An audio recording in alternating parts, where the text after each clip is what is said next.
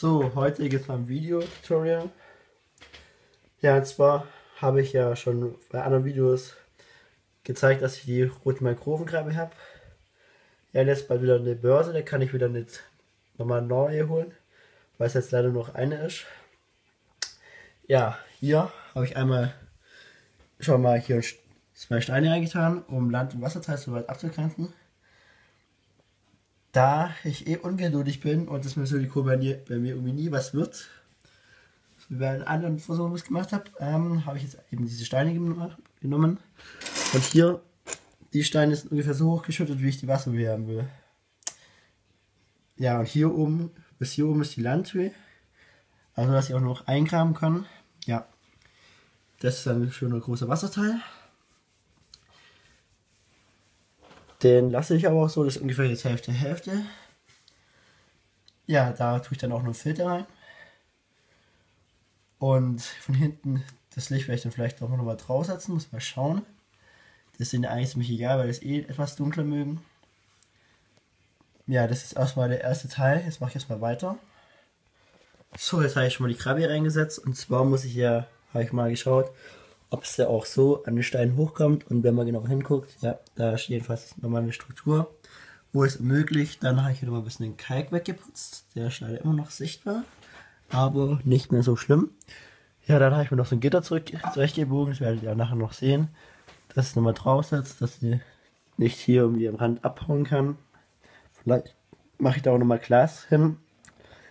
Ja, jetzt geht es an die Technik und das Befüllen. So, nun habe ich hier das, den Wasserteil fertig, der Filter läuft. Das heißt, es wird es mit der Zeit noch klarer. Ja, eine Efeu-Tute als Pflanzung dran, die auch ein bisschen ins Wasser hängt. Bei der Kletterbarkeit von dem Stein muss ich nochmal gucken, wie es aussieht, ob ich da vielleicht noch was machen muss. Ja, wie man hier hier habe ich nur eine dünne Kiesschicht, da ja keine Wasserpflanzen rein sollen. Vielleicht mache ich auch noch was nein. Wenn ich irgendwie noch Fische rein tun sollte, dann eher Wälse. Ja, hier sieht man schön die Wassergrenze. Liegt eben auch hier dran. Zum Kies, zwischen Kies und Erde. Die Wurzeln werden sich natürlich ein bisschen runterkramen müssen und man sieht aber auch, dass es so ein bisschen feucht ist, die Erde. Ja, da hinten habe ich zwei Höhlen. Es werden insgesamt drei Gramm sein. Das wird dann hoffentlich reichen, sonst werde ich dann mal irgendwie was umdisponieren. Ich glaube, die hat sich auch schon in eine Höhle verzogen. Ne, die ist dahinter. Der Höhle. Gucken wir, was auch sieht. Weiß ich jetzt nicht. Ja, jedenfalls ist das ein 40 Liter Aquarium, das ich hier somit geschickt umgebaut habe zu einem zu einer Mischung zwischen ja, Terroristik und Aquaristik, damit möchte ich einfach nochmal zeigen, dass beide Hobbys gut kombinierbar sind. Einfach durch, wenn man hier sieht, einfache Anwendung von einem Aquarium. Man könnte es natürlich jetzt auch mit Fröschen machen. Ich habe jetzt auch, äh, auch einen Frosch. Allerdings muss ich dann mehr abdichten und so weiter. Und ja.